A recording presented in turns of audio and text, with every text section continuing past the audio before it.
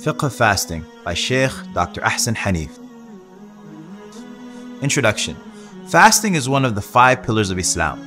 Although one can fast throughout the year, this pillar is most commonly associated with the month of Ramadan, which is the ninth month of the lunar Hijri year. The Arabic word for fasting is sawm, which means to refrain and withhold.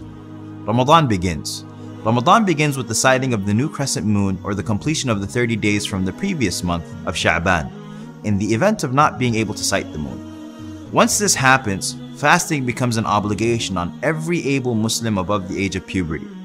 The Islamic month can last for either 29 or 30 days, so for the duration of Ramadan, Muslims fast the daylight hours. The daily timing of fasting is from dawn, Fajr, until sunset, Maghrib. How to fast. You make the intention to fast in your heart before the dawn of each day. It is recommended to have a pre-dawn meal, known as suhoor, However, you must ensure to finish eating and drinking before dawn comes in. It is advisable to drink plenty so as to keep hydrated throughout the day. Once dawn comes in, you must refrain from anything which can break the fast until sunset.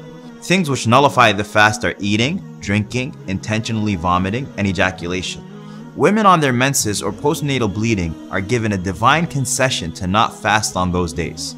Everything else is permitted as normal. At sunset, one breaks the fast, also known as iftar. It is recommended to break the fast with dates, and if not, then water. There is also a recommended supplication that one should say at this time. The spiritual fast. Just as one refrains from anything which physically breaks their fast, they should also work on its spiritual aspect. That means that they refrain from all sins such as lying, cheating, and harming others. They withhold their tongue and limbs from evil.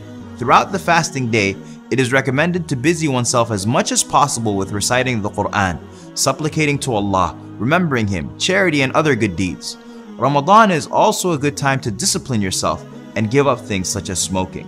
Exemptions from fasting. People on medication must seek medical advice.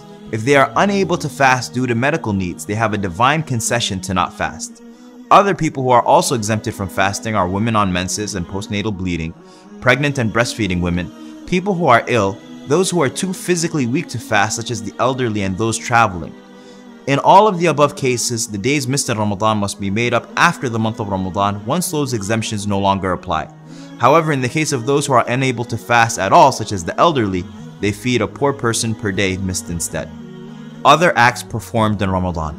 The month of Ramadan also includes a recommended nightly prayer known as Taraweeh, which takes place after the Isha prayer on one of the odd last 10 nights of the month, 21st, 23rd, 25th, 27th, or 29th, is the night of decree, Laylatul Qadr. To worship on this night is better than a thousand months. A day or two before the end of the month and the Eid celebration, one should give a set charity known as Zakatul Fitr to the poor and needy. The charity is a set amount of food, or one can give the money to a charitable organization which will then buy and distribute the food.